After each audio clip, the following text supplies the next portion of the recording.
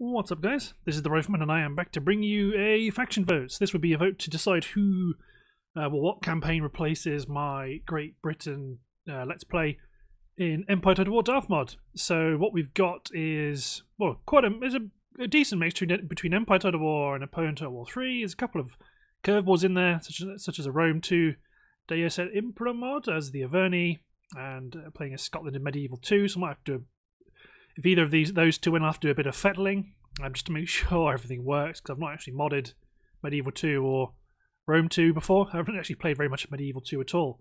Um, so yeah, pick your uh, pick the ones you would like to see. It's multiple choice, so you could pick as many as you would like to see, not just not necessarily just your favourites.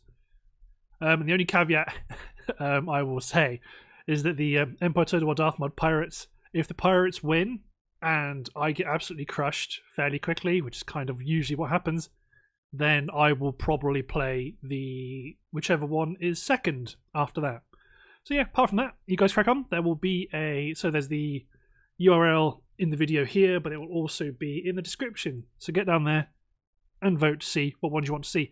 The uh, videos will be coming out, or the the campaign will close on the 8 p.m. GMT on the 20th of February, so it'll be another full week. Most of the time, the one that's going to win is, will probably show up within the first five days or so. But I'm just going to give it a week because it's nice and simple that way. So, thanks for watching, guys. Hope you've enjoyed, and make sure you get your votes in. Cheers, everyone.